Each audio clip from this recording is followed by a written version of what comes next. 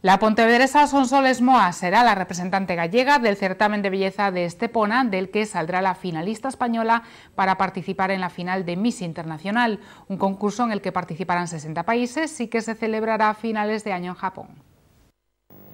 Miss Internacional es el tercer certamen de belleza más importante del mundo, y de ahí la relevancia de este evento. Raquel Gamayo, delegada regional, nos ha comentado cómo se lleva a cabo esta selección y los requisitos que tiene que tener una Miss. Pues ya no solo la edad de 18 a 25 años, sino también pues que hayan trabajado en pasarelas, que tengan eh, ganas de, también de salir al extranjero. imagínate que, que gana, la ganadora de España tiene que irse a Japón junto con el resto de países y tener perfil modelo, saber posar, fotografía, no es fácil, ¿no? La pontevedresa Sonsoles Moa, de 19 años, representará a Galicia el próximo día 3 de julio en Estepona. Es la primera vez que se presenta y afronta el certamen con mucha ilusión. Pues aunque parezca difícil y haga falta mucho esfuerzo, la verdad es que es un sueño. O sea, es una meta cumplida, así que intento llevarlo lo mejor posible.